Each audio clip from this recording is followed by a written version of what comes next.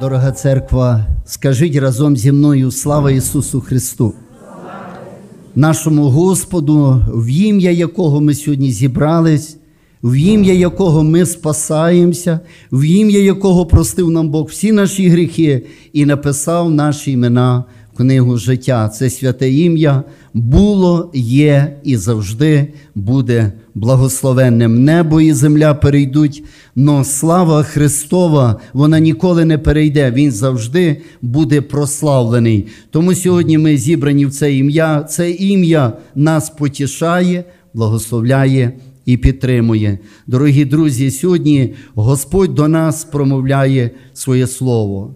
Це велика дорогоцінність, яку Бог дає людині. Тому що коли ти чуєш Слово, коли ти приймаєш його в своє серце, коли ти кажеш, я зроблю так, як говорить Його Слово, твоє життя змінюється. І люди, які тебе бачили з дитинства, вони кажуть, ця людина змінилася. Що з нею відбулося?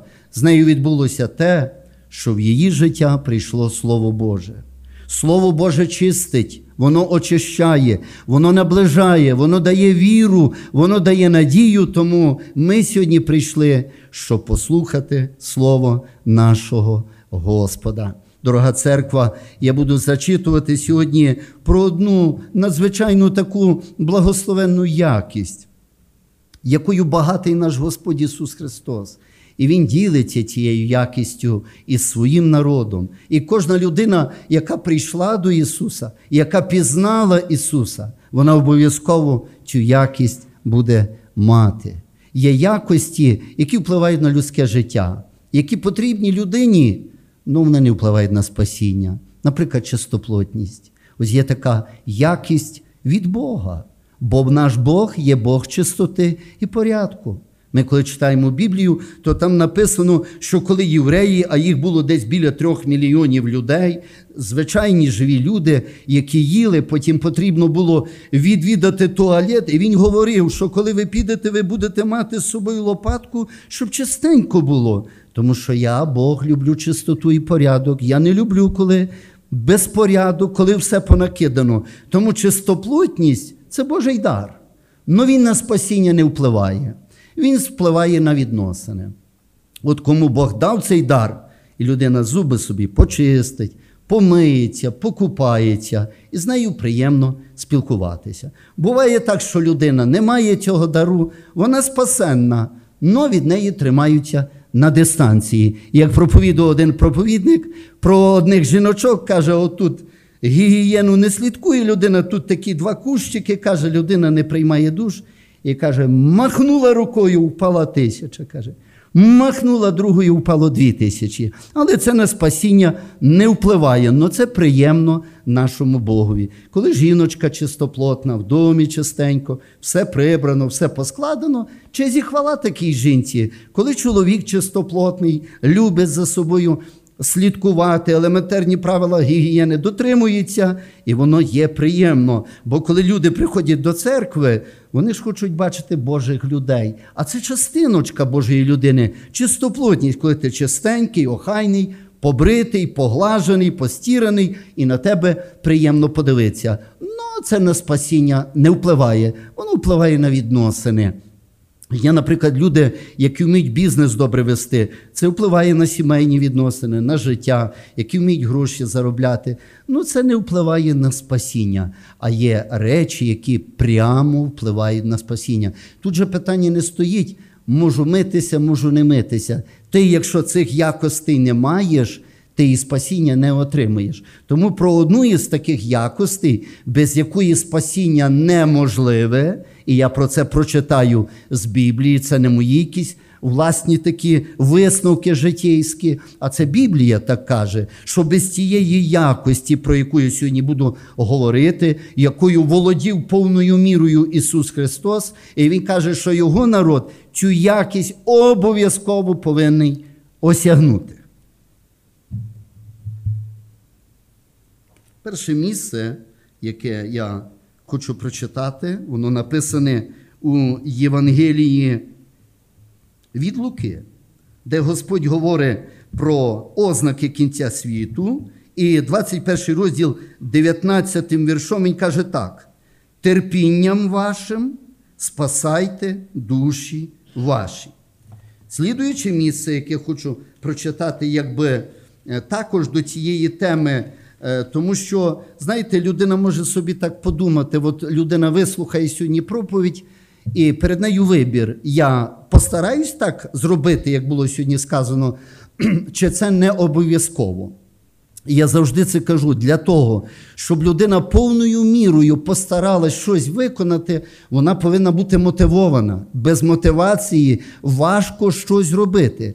Павло до Тимофія каже про одну із мотивацій, що землероб, який сажає на полі, він перший скуштує від плода. І якщо землероб, працюючи на полі, не надіється з поля щось зібрати, він не буде вкладатися повною мірою, бо він не впевнений в наслідках в плоді. Для того, щоб ми були мотивовані, я буду говорити сьогодні про терпіння, щоб ми були мотивовані і хотіли бути терплячими, Слово Боже нас мотивує перше терпінням, спасайте душі ваші. Друге місце, воно приводиться у посланні Павла до Тимофія. Другий лист до Тимофія, друге послання чи другий лист до Тимофія. Е, Читаю другий розділ із 11 вірша. Вірне слово. Коли ми з ним померли, то з ним і оживемо. Коли терпимо, то з ним і царювати будемо. Коли відречемося, і Він відречеться від нас. Тобто Ісус каже: якщо ми хочемо разом з ним царювати, а разом з ним царювати хочуть всі віруючі люди, всі християни, Він каже, є необхідна умова. Той, хто хоче царювати з Ісусом, Він повинен з Ісусом терпіти разом з Ним. Ісус перетерпів, і ти зобов'язаний перетерпіти. Хто каже, я не хочу терпіти, той каже, я не хочу з ним царювати. Одне прив'язане до другого, і ми мусимо це зрозуміти. Е, Третє місце, яке Господь приводить нам на пам'ять, це е, послання до євреїв, 10 розділ, 36 вірш. Терпіння потрібне вам, щоб, виконавши волю Божу, одержати обіцяне. Бо ще небагато, зовсім небагато, і грядучий прийде і не забориться. Терпіння потрібне вам, щоб виконати волю Божу і одержати спасіння. Це не є умова, така як гігієна. Це не є умова, що Бог дає право вибора. Ти можеш мати терпіння, ти можеш не мати терпіння. Бог каже, без терпіння спасіння не існує. Людина, яка хоче бути спасенною, вона повинна навчитися терпінню, вона повинна вчитися терпіти. Ось у книзі об'явлення написано про останні дні, що таких поганих днів не було, відколи існує людство. Дні будуть дуже важкі. Я не знаю, на чию долю вони прийдуться, але на чиюсь вони прийдуться. І Христос каже, що якщо би ці дні Він не скоротив, люди би просто фізично не витримали, терпіння би не хватило нікому. Дивіться, як каже книга об'явлення, я буду читати 14 розділ з 8 вірша. І другий ангел ішов за ним слідом, кажучи, впав, упав Вавилон місто велике, тому що він шалене вином розпусти своєї напоїв усі народи. І третій ангел ішов за ними слідом, кажучи гучним голосом: хто поклоняється звірові і образу його, і приймає начертання на чоло своє або на руку свою, той питиме вино гніву Божого, вино нерозведене, приготовлене в чаші гніву Його, і буде мучений у вогні і сірці перед святими ангелами і перед агнцем, і дим мучення їх здійматиметься повік, і не матимуть спокою ні вдень, ні вночі ті, що поклоняються звірові і образу Його, і ті, що приймають начертання імені Його. Тут терпіння святих, які дотримуються заповідей Божих і віри в Ісуса.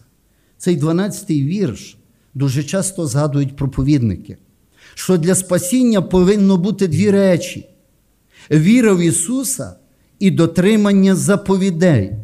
Но цей вірш каже, що тут ще буде щось потрібно святим, просто крім виконання і віри. Тут терпіння святих. Щоб це все пройти, потрібно буде терпіння. Що таке терпіння? В чому складність терпіння? Тому що терпіння це не одноразова акція. Ось ти так зібрався на дусі, прийняв вольове рішення там дати десятину чи пожертвувати гроші. Ти от готовився і так одноразово зробив цю справу і забув про неї. Терпіння вимагає постійності. А постійність це певне питання, певна проблема. Ось ти читаєш Біблію, ти на такому духовному підйомі, в тебе в житті все йде якось гладко, і в цю хвилину прийшла якась трудність в твоє життя, і в тебе є сила, щоб її побороти. Но ти маєш надію, що це така одноразова акція наступу на тебе духовного. А потім ти починаєш замічати, що це продовжується. І проходить день, місяць, деколи роки, і ця проблема з твого життя не забирається. До речі, ця проблема деколи вона супроводжується таким низьким духовним рівнем. Ти перестав читати Біблію, ти перестав молитися, ти перестав пробувати в Ісусі Христі, і ти починаєш відчувати, що ти вже не можеш терпіти, і ти вже навіть не хочеш терпіти. Ти відмовляєшся від терпіння. Ну, брати мої сестри, це ми мусимо це розуміти духовно. Хто відмовляється від терпіння, відмовляється від спасіння. В цьому складність терпіння, що його треба пронести через все життя.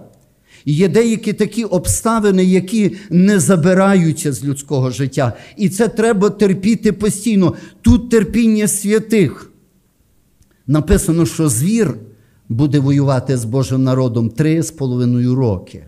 Це не буде день складний чи тяжкий. Це не буде три дні, коли євреям не був даний хліб у пустині і вода. Це буде період у три з половиною роки, коли будуть вбиваємі християни за ім'я Христа, коли не можна буде купити і їсти, нічого не можна буде зробити, і якщо не відречешся від Ісуса Христа, тобі не буде дано нічого.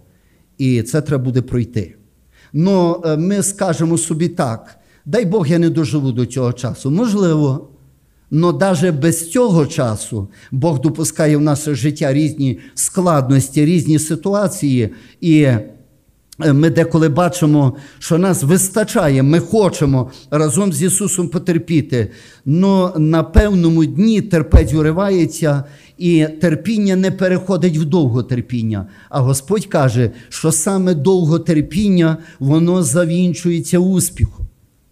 І ви розумієте, от ми, віруючі люди, деколи не вміємо розпізнати Божих дій у нашому житті. Коли приходить форс-мажор, коли приходить складна обстановка в життя, коли приходять хвороби, Яків приводить у приклад апостол Яків, наприклад, він приводить у приклад Йова. І він каже: ось ми вважаємо цих людей, яких, які терпіли героями віри.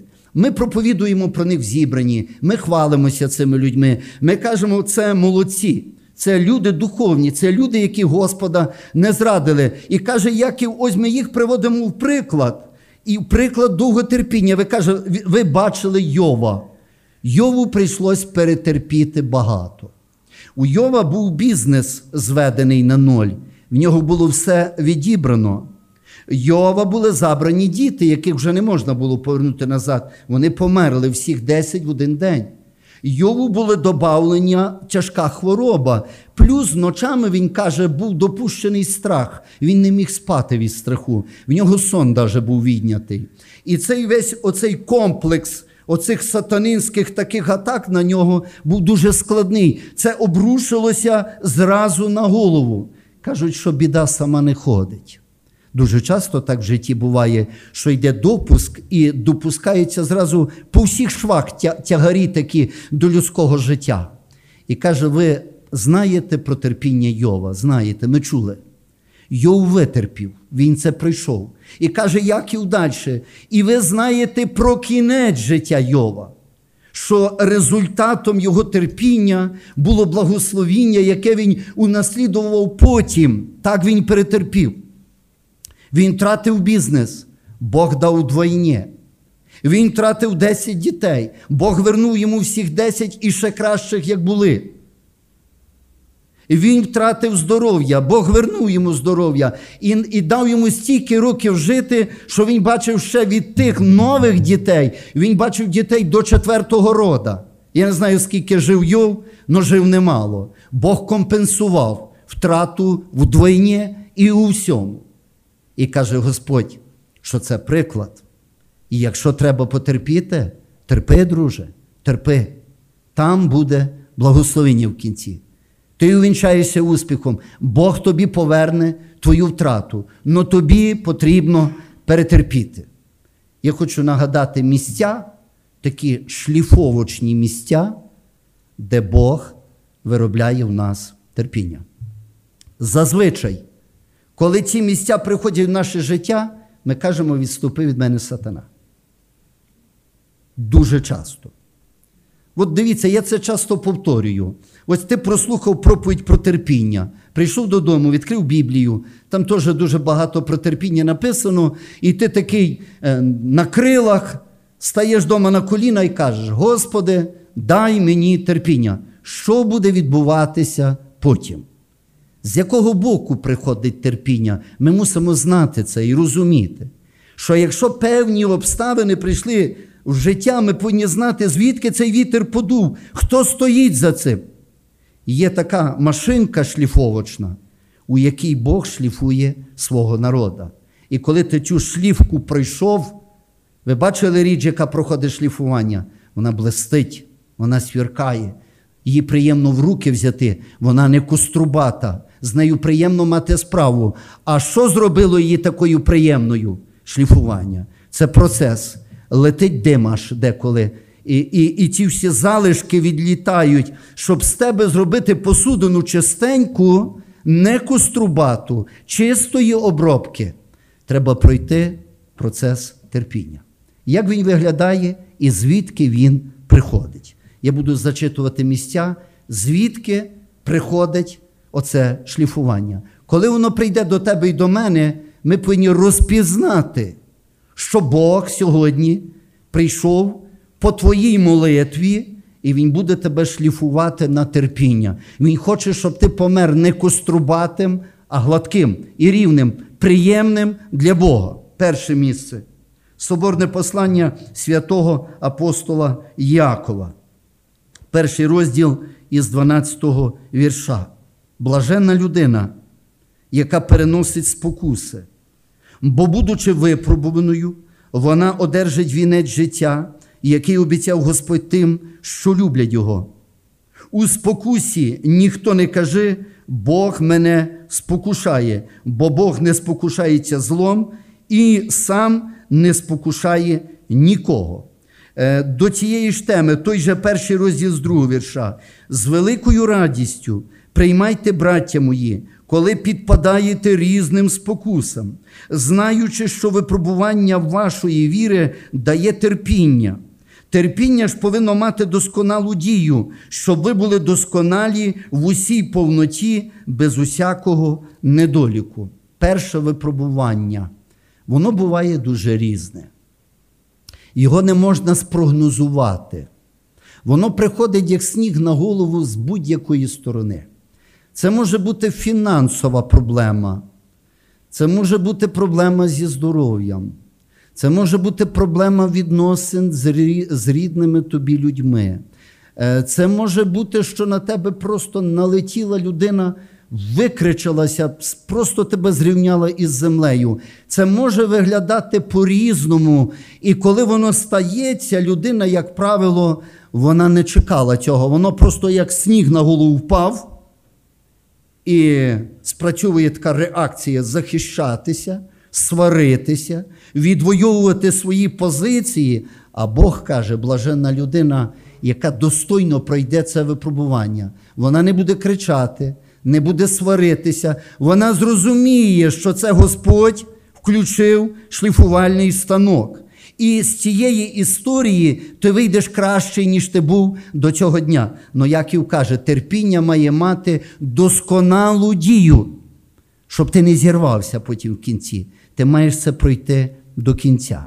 Друге місце.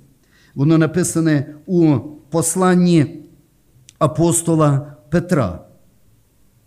Деколи, брати мої, так буває, що е, ти все робиш правильно, ти нікого не образив. Ти, як, е, як чоловік, як член церкви, як християнин, стараєшся вести себе бездоганно. Коли в життя Йова прийшли проблеми, він пробував знайти відповідь на ці проблеми в своєму житті. Він, як то кажуть, прокрутив плюнку аж до дитинства. І він каже: я не знайшов там нічого. Єдине, каже, може, я там в юності, поки був молодий, нерозумний, може, я щось неправильне зробив. Ну все решту, він каже, я за всім слідкував. За всім. Щоб не подивитись не туди, куди треба, щоб помогти бідному. Каже, ні один бідний мимо мого дома не прийшов. Я був руками для тих, хто їх не має. Я був очима для тих, хто їх не має. Я по максимуму старався волю Божу виконати. Цей сніг на голову, він не міг його пояснити. Брати і сестри, є речі, які не можна пояснити. І деколи, може, навіть не треба шукати пояснення. Ти вроді невинний, але ти несеш. Дивіться, що каже апостол Петро. Людина, людина, коли вона несе несправедливо, вона каже: Я не буду це нести, і я не буду терпіти, бо я правильно поступаю. Кому то треба? Кому то треба, щоб я страждав несправедливо. Перше послання Петра, другий розділ з 18 вірша.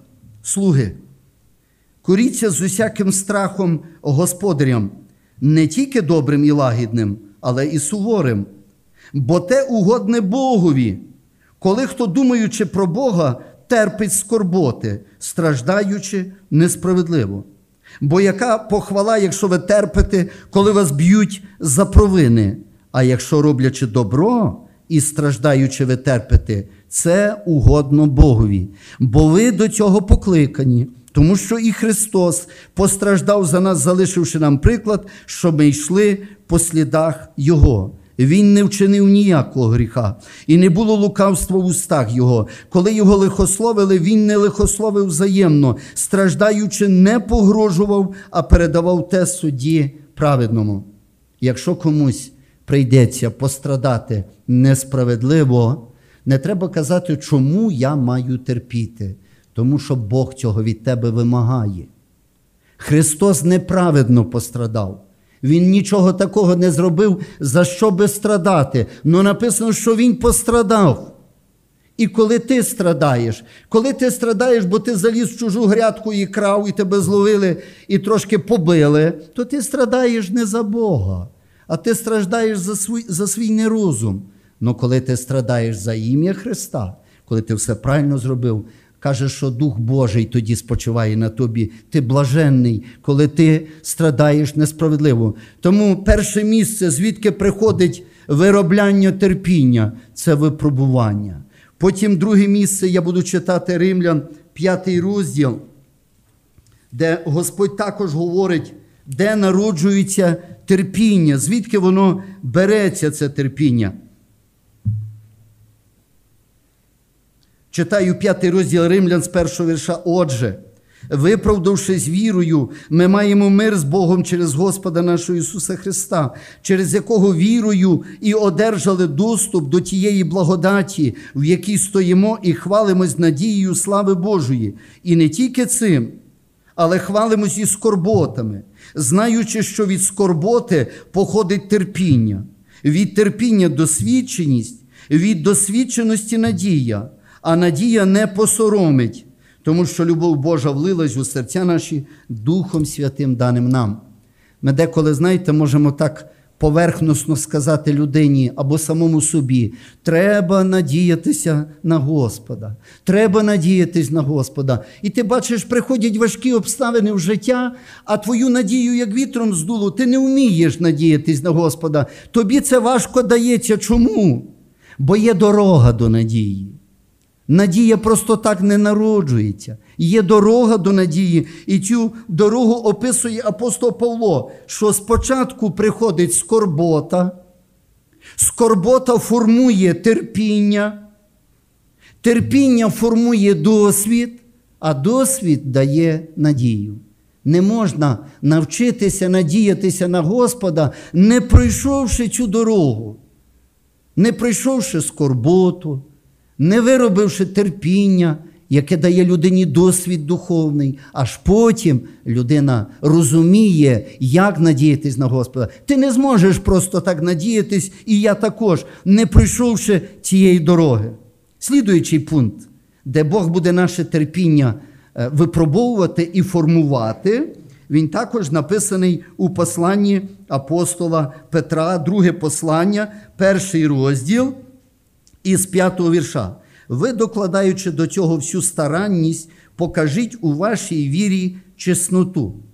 В чесноті розсудливість, в розсудливості стриманість, у стриманості терпіння, а в терпінні благочестя. Є така життєва річ, яка допомагає виробляти терпіння це стриманість. Коли апостол Павло одному можновладцеві проповідував про стриманість, що він сказав? Іди відпочивай. Я тебе покличу іншим разом. Він не хотів це чути. Багато людей також не хочуть чути про стриманість. Особливо сьогоднішня молодь, діти наші, які виросли в таких благословенних, комфортних умовах, все є. Тому особливо це молоде покоління, яке не проходило скорботи за Христа, яке не проходило недостачу у всьому, воно хоче все і зразу. Но Господь каже, що стриманість формує терпіння, стриманість. Божа людина повинна вчитися стриманості у всьому. Стриманість в одязі. Можна одягнутися, як хочеш. А можна проявити стриманість. Можна нігті собі якусь так маленько, ну, жінка доглядає за собою. Можна трошечки там полакувати таким лаком непрозорим. А можна помалювати в такий колір, що навіть веселка не може похвалитися таким кольором. Стриманість. Можна в стриманість в їжі не проявляти, і потім хвороби сиплються. Можна стрим... нестриманість проявляти в бажаннях, в хотіннях. Нестриманість. От хочу все і зразу, і мене нічого не цікавить. Нічого терпіти не хочу, від нічого відказатися не хочу. Давай Боже все і зразу. Господь каже, таким шляхом терпінню ти не навчишся, тому що стриманість формує терпіння. І останній пунктик, який допомагає виробляти терпіння, він написаний в посланні Павла до Римлян в 15 розділі. Я прочитаю, і ми будемо молитись до нашого Господа. Ми сильні, перший вірш. Ми сильні повинні терпіти немочі безсилих, а не собі догоджати. Кожен з нас повинен догоджати ближньому на благо для повчання. Бо і Христос не собі догоджав, але як написано лихослів'я тих, що лихословили тебе, впали на мене. Ми сильні повинні терпіти немочі безсилих. Що таке немочі безсилих? Це люди духовно незрілі. Це люди, які не вміють себе вести. Хтось сказав, що культурна людина це людина, яка вміє нести безкультурщину інших. Ви, каже, сильні, повинні нести немочі безсилих. Немочі є різні. Є просто духовно слаба людина. Є людина взагалі може бути і не зовсім здорова, я вам скажу, і неадекватна. І Бог каже: якщо ти себе вважаєш зрілим християнином, і якщо ти розраховуєш на спасіння, ти повинен навчитися терпіти немочі безсилих. Ну, от безсилим, наприклад, пастор церкви каже, до, е, до немічних і безсилих. Якщо ви серед зібрання вам треба буде виходити, то не сідайте спереді, а сідайте ззаді, щоб не ходити, не мішати. І що роблять немічні і безсилі? Вони мають два вуха, в одне впускають, друге випускають. А решту що мають робити? А решту будуть або нервуватися і казати, до медведя вже би дійшло, або будуть терпіти. От в залежності від того, чи ти нервуєшся, чи ти терпиш, і оприділяється, ти духовно зрілий, чи ти такий самий, в принципі, як той немічний, просто він немічний на на, на 100%, а ти на 99%. Ну не думай, що ти далеко від нього втік, якщо тебе це дратує і виводить із, із себе. Або, наприклад, до немічних кажуть, як приходити в Дім Божий перед зібранням, не говоріть. Ті, які духовно зрілі, вони давно почули і вони мовчать. Немічні і безсилі що роблять? Кричуть ще більше, як до того, що їх просили. А що має робити решту церква? Вона має терпінням своїм покривати немочі безсилих і вимолювати їх Бога, щоб Господь дав людям розуміння, адекватність, здоровість нервову, і люди вчилися себе в соціумі вести правильно, як віруючі люди. Е, це є такі ну, такі маленькі такі ситуації, придумав. Неміч може бути серйозніша, коли людина ні з того, ні з цього, ти прийшов там чи в церкву, ну, надіюсь, що такого в церкві нема, чи десь на вулиці, і, і на тебе налетіли, накричали, обматюкали тебе. Ну, немічна людина, значить, безсила, значить, ти маєш потерпіти, почекати. Або або людина каже, хочу тобі щось сказати. Кажу, я не маю часу. Ні, ти мене мусиш вислухати. Ну, добре, кажи, слухаю, слухаю. Вже одне вухо зів'яло, друге зів'яло. Ну, Можна розвернутися і піти. Ну, але тоді я немічний також, значить, тоді вже якось стараєшся людську неміч інших потерпіти. От. І такого назбирається дуже багато. От написано: не зневажай сину батька свого, коли він в старості, коли він втрачає розсудок. Дуже часто люди, яким за 70, за 80, вони багато пройшли, пережили, їхня нервова система вже вся розшатана, вони пам'ять втрачають, і вони можуть себе вести дуже-дуже дивно і неадекватно. Що робити молодим людям в такій ситуації? Сміятися старенько? Ні. Терпіти немочі безсилих. Тому там, де ми стикаємося із е, невихованістю, з неадекватністю, з нездоровістю людських поступків, ми маємо пам'ятати, ми на голову вищі, ми віруючі люди, ми християни, і Бог дає пряму заповідь. Хочеш навчитись терпінню, терпи, дружок, цих людей, молися за них, аж поки їх Бог не поміняє їхнє серце і їхнє життя. А таких ситуацій в житті дуже багато. Дуже багато. Дві жінки на одній кухні господарюють свекруха і невістка. Свекруха привикла, щоб тут стояли вилочки, невістка привикла там. І вона їй каже, роками ось тут, а вона кладе ось там. І я вам скажу, вроді така проста ситуація. Ну, ти чуєш, в тебе всередині вже все булькає, ти забуваєш, що ти віруючий, і починаєш робити непристойні речі. А Біблія каже, терпіння потрібно вам, щоб терпінням спасати ваші душі. Якщо хтось із нас, несучи довгий час, недостаток якоїсь людини собі так постановив, я його терпіти більше не буду, сьогодні самий раз покаятись відказатись від цих слів, відказатись від такого плану і ідеї, тому що якщо разом з ним терпимо, будемо разом з ним царювати. І сказати, Боже, я казав, що я його терпіти більше не буду. Але ти мене сьогодні, Господь, переконав, я ще потерплю, дай сили. То ми так схилимося до Господа і так помолимося. Боже, там, де нам уже не вистачає терпіння, де ми вже сказали, що ми більше терпіти не будемо.